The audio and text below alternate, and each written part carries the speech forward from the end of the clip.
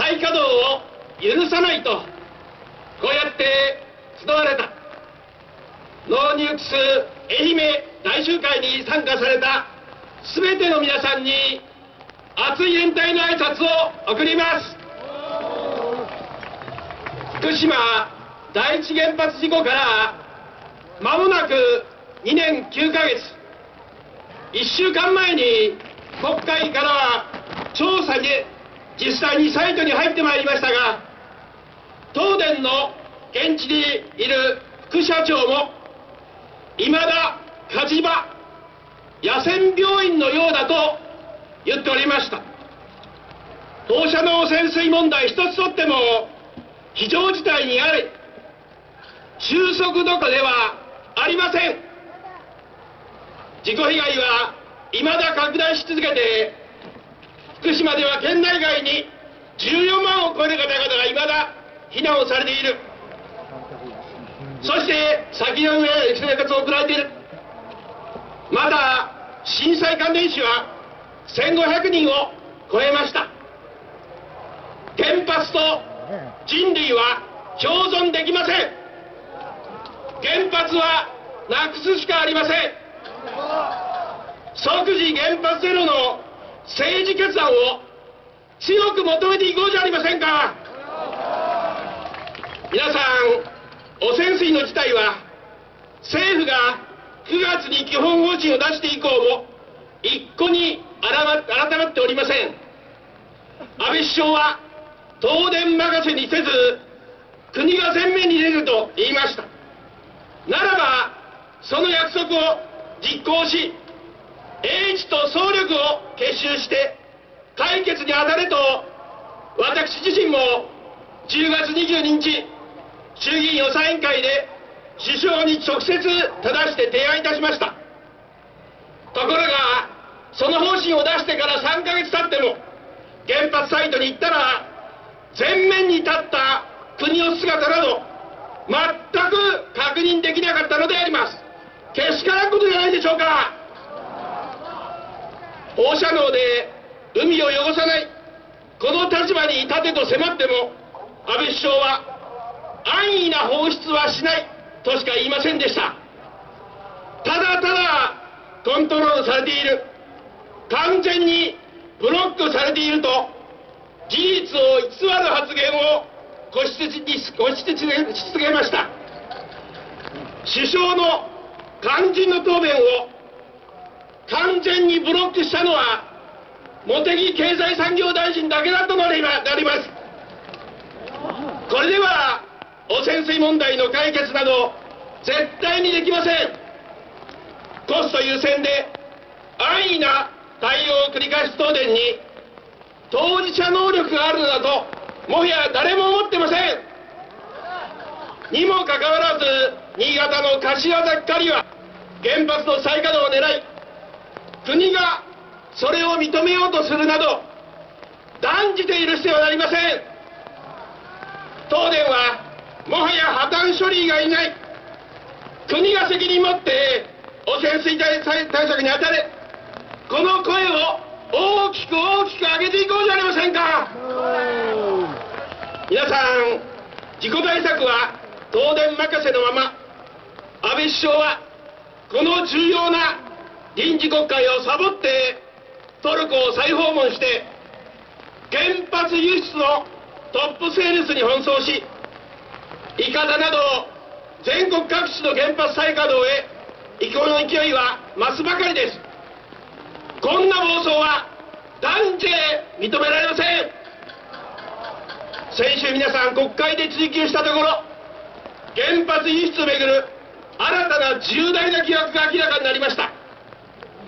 地震国トルコの原発建設予定しシノップの断層調査をやると経産省が委託した先がなんと日本原電なんです。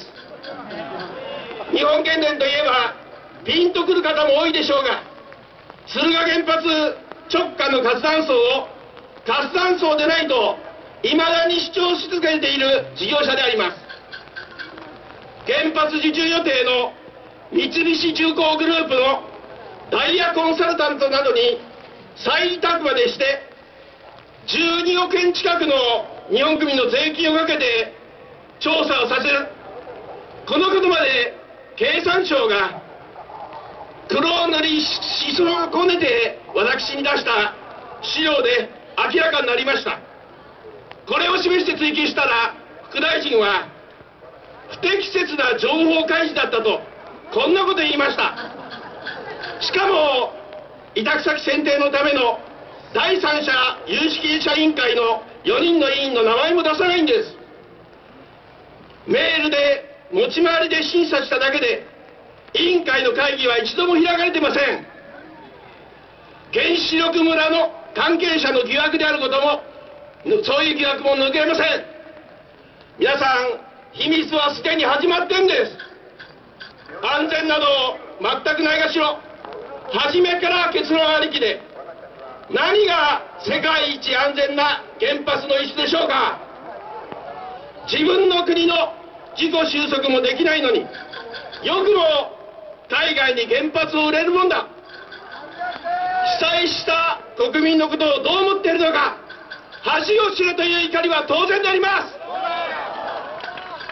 トルコに行く暇があったら福島原発に貼り付け海外にというなら原発ゼロこそ輸出すべきじゃありませんか。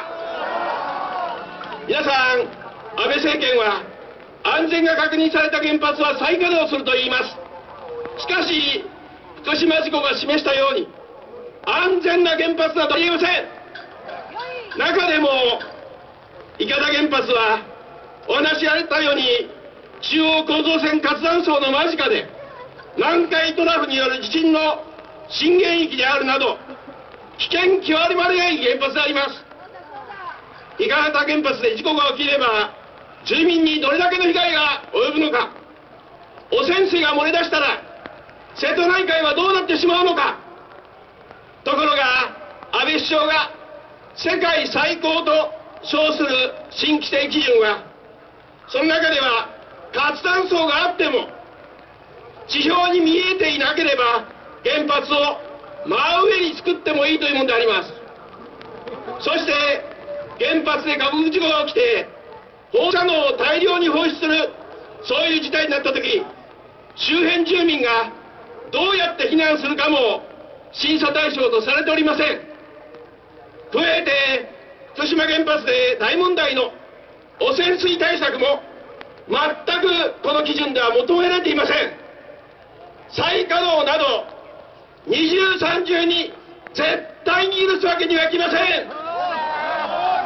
池田原発再稼働反対の声は愛媛四国中国地方九州でそして全国でも湧き上がり再稼働反対原発ゼロの全国的連帯が広がっています。この秋福島でも福岡でも首都でも大きな大集会が続いてます。国民の中では再稼働反対が多数派じゃないでしょうか。皆さん今国会で大問題の秘密保護法の問題でも国民の声に背く安倍政権の暴走への批判は全国で急速に広がってます。汚染水問題をどんなに小さく見せようとも事態は深刻になるばかり。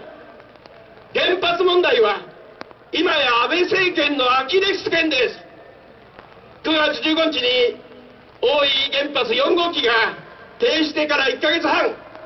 日本で動いている原発はありません。国民も日本経済も困ってないじゃないですか。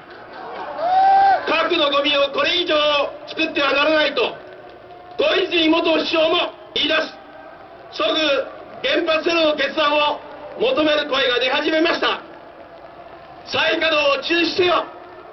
原発は直ちにやめよう。この声をここ愛媛から全国に轟かせて今こそ原発ゼロの日本をご一緒に作ろうじゃありませんか。最後まで頑張りましょう。ご苦労様です。ありがとうございます。笠井さんありがとうございました。それでは午前